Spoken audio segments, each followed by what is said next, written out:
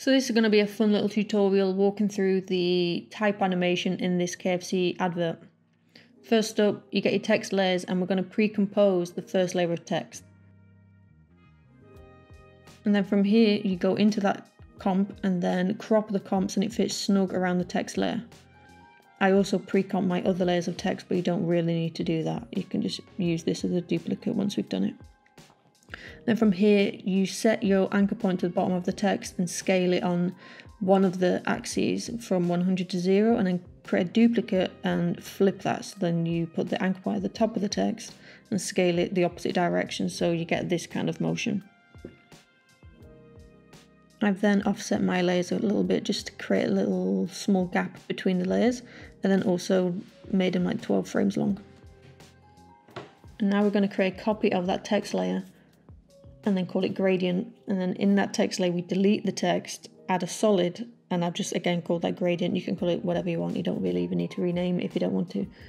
But on this solid, we're to then add a gradient ramp and I set mine up like so, which will create as a similar effect to the KFC commercial.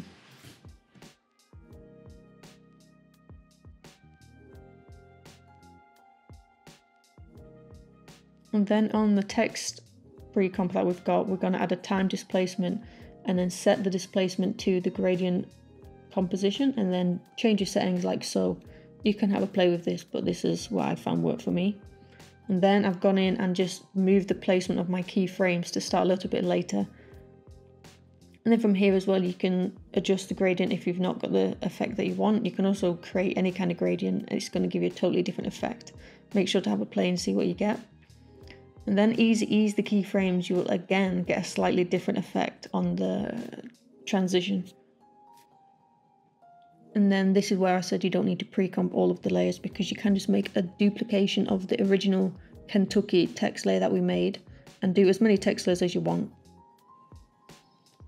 Feel free to just skip ahead here if you've kind of got this part locked in. I'm going to keep the video there just so then we've got it and you can follow along.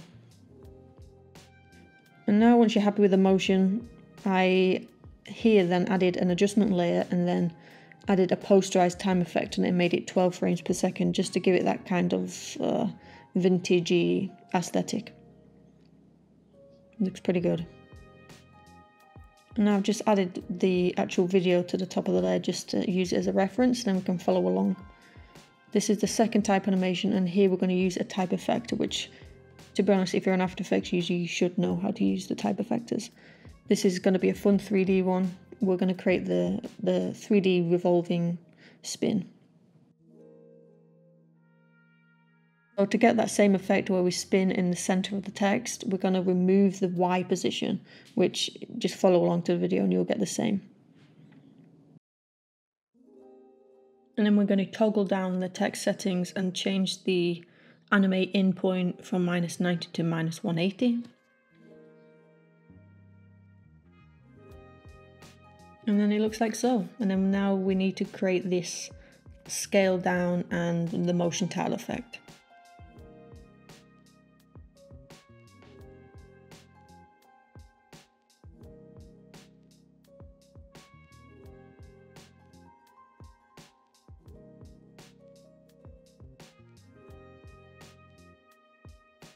Pick up that text layer and then I'm going to crop it so then it fits snug again. And then from here we're going to apply the motion tile effect to that text layer. And we're just going to expand it, extend it, expand it, however you want to call it. Create this scale down motion. So you can see I've got the asset attached at the top center of the screen. I'm just going to follow along so we match it. So we'll create this scale down. It's only a matter of a few frames. And then we're gonna cut the layer. So you use Command D and it'll slice the layer. We're gonna add a fill to it and basically invert it. So we'll match the red and then we'll also split the background layer and do the same thing again, Command D and just invert the color. So we get that opposite. And then on the other layer, we're just going to delete the motion tile. And then we've got the asset matching. If there's anything else you want to learn or, or walk through of a different advert or commercial you've seen, drop me a comment and I'll make it up. Thank you.